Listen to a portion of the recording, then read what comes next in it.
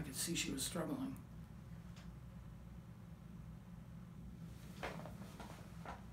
How have you been feeling?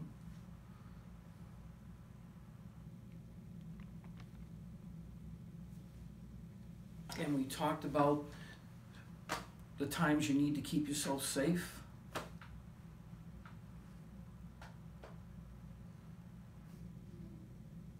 Through rough times.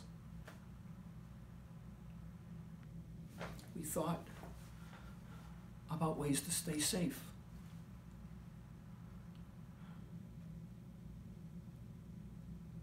I wanted her to know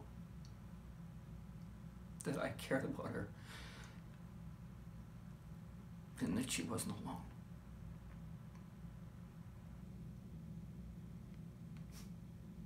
I had the conversation and I'm glad